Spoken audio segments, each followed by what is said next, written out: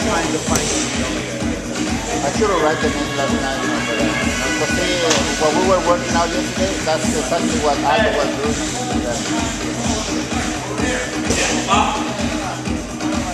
Well, you're slipping. They don't always have it